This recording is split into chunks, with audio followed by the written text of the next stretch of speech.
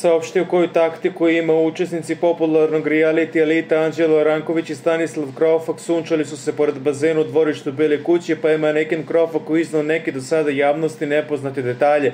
Naime, mu je kako je najbolje uspevo da smuva devojke koje su mu se sviđale u letnjim mesecima. Ništa ne bi bilo čudno da nije pomenuo i Anitu Stanolović koja je pala samo na njegov šarm, kako tvrdi.